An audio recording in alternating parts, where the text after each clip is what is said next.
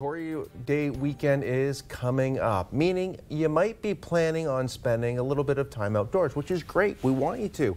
Now, whether that be by lighting off some fireworks and maybe enjoying some time by a campfire, well, we need to make sure we know the rules first. So joining us now are two members of the Hamilton Fire Department to remind you to take care when handling fireworks. Hello both to Scott and Susan. Thank you both so much for being here today. Um, long weekend, this is kind of traditionally, I guess, when you start to see, you see the fireworks and you see some campfires going up. What are some of the rules that Hamiltonians need to know? Susan, we'll start off with you if that's sure. okay. What are some rules that we need to know as Hamiltonians regarding fireworks? Do you want to do the fireworks or the, the fire? Let's do the fireworks. First. You want to do the fireworks. Sure. We're doing fireworks first. What do we need to know?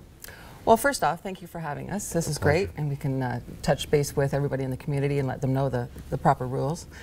Uh, so, fireworks. Uh, we have a bylaw in Hamilton that um, gives the rules and regulations on, on who can set off fire fireworks, where they can be set off, mm -hmm. um, how they're set off. Um, and, and people need to know that they should follow those rules so that everybody's safe in the community, um, property's safe, children are safe. So uh, we have a few rules. People that are 18 of years of age can purchase the fireworks. Right. Uh, anybody who's under that age cannot purchase the fireworks. Uh, we have um, areas in the city that cannot have the fireworks set off, i.e. the uh, parks, city parks, city parkettes, um, streets. You actually cannot take your fireworks out onto the street and let the fireworks off. Okay. You have to have uh, your own property or have the permission from the owner to set off the fireworks on that property. We, we do see a lot of street parties though with fireworks going off and we I live I back onto a park and I see lots of people going into the parks. What are some, how do we manage that? Uh, am I supposed to call? What, what happens? Sure. If, if you see people, you know, setting them off in the areas where they're not supposed to, you can call the Hamilton Fire Department at 905 546 3333 and press option number five, and okay. that will put you through to a communications operator or officer where they will take your, your complaint. Um, let's say that you are in a proper location lighting off fireworks. What are some things you need to have nearby in case something gets out of hand? So if you're setting off your fireworks, you want to be looking at your firework prior to even setting it up. There's there's um, specifics on on their height, the uh, the distance away that people should be. Mm -hmm. When you're setting them off, you want to set them off so that they are upwind from everybody, so you you have a safe area for everyone to be viewing the, the fireworks from. Yep. Uh, children should not be setting off the fireworks. Um, aim them slightly away from where your crowd is so that they're kind of going away from them just slightly. Um, ensure that you have a hose or a fire extinguisher or a bucket of sand nearby yep. so that you, you can extinguish them if something was to go wrong. Um, make sure that your firework is, is set into some sand nice and uh, tight so that it doesn't tip over while you're setting them off. Makes a lot of sense. Yeah, mm -hmm. you, you see some hor horrific things on, on social media with oh, you yes, do. fireworks gone awry, if you yes. will. Yes. Yeah. Even uh, in Hamilton, we've had that. Yeah, I'm sure you. I'm sure we have, and mm -hmm. we'll get more to that in a second. And I, I referred to you as Scott. My apologies, Steve. Steve. Thank you very thank much you. for being here. Fires are also a big part of this as well. Sitting around a campfire, great tradition. However, in, in the urban areas, it is a no-no. Explain to us what consists of an open air fire, what you can and can't do. Thanks, Mike. Well, open air burning, there is a bylaw in the city of Hamilton, um, and it regulates how fires are constituted in the city of Hamilton. So right now, open air burning cannot be conducted in any urban, so that's your city, it can only be done in rural areas. And when it is out in rural areas, you still have to get a permit. That's correct, yes. You have to have an actual open air burn permit.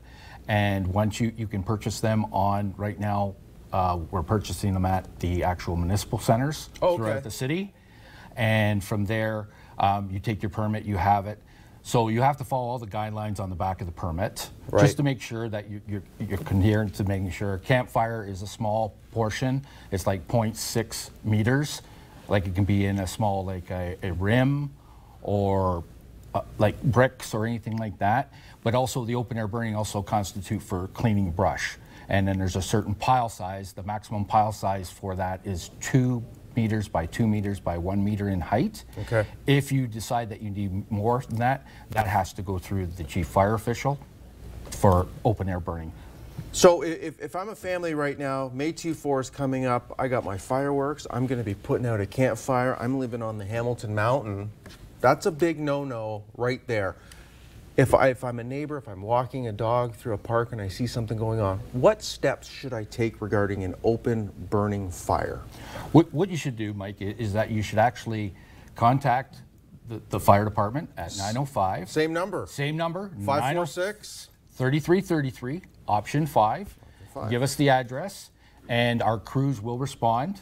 Uh, they won't come lights and sirens. They will actually just come and just check the thi- uh, check to make sure what you're doing. If it is open air burning in the urban area and you don't have a permit, which you won't have, they will request you put it out, and then eventually from you'll get a warning letter after that, just stating the facts that you can't do it again. And if you do, there possibly could be charges under the bylaw. And they will also ensure that it is out completely They will. before they Yes, they leave. will. Yes, Yeah. they will. Um, so, so Susan, we, we have all of this going on here. So much of this is common sense as It well. sure is. At the end of the day, right? Yes. Um, what are some more tips that people can, can think about, be prepared for um, as we go into this May 2-4 long weekend here? Basically, use your common sense. Uh, Have respect for your, your neighbors, Yes. you know. Um, make sure that you're not setting them off uh, on uh, the wrong date. Yeah. yes. We actually had a new bylaw come out two years ago. You can only set off fireworks on Victoria Day or Canada Day. If there is inclement weather, weather, then you can set them off the following day. But that's it. You can't set them off on the Friday or the Saturday it, or the Sunday. It has to be on the actual. Uh, on the actual day. So May, May 2, 4, make sure you do it on, Right. on uh, make, make, that all makes sense. In regards to the fire, I know we were talking about uh, they will come, they'll give, issue a warning. Same with fireworks, they'll come, issue a warning. Uh, they will come. Uh, municipal law will probably do the enforcement, Okay. and uh, that could result in an immediate ticket. Is there a, a one pager somewhere on the World Wide Web or something people can go to for all Sure this information? Yeah. Um, uh, www.hamilton.ca slash fire. Yeah. Uh, if you scroll through, you can find the uh, fireworks information and the open air And burning burning information yes. as well, as um, well as other great fire safety. A, a lot of great fire safety tips for sure. And, and finally, I, I, we have to go here. I know they will ask when you call the communications, well, are, are they cooking something? How does that play into an open air fire, yet they have a grill on it and they're barbecuing some hot dogs? Is, is, as long as it's legit, like it, has to be legit cooking that, and, and the crews will actually, the captain and, and the crews will actually look at it and see if it's legit cooking. Yeah. It's not just roasting marshmallows or anything like that. If they deem it that you're ju- you're just not doing the proper legit cooking, you're Yeah. cooking steaks or meat, you just got little- some hot dogs hanging there or something that looks like you're cooking something.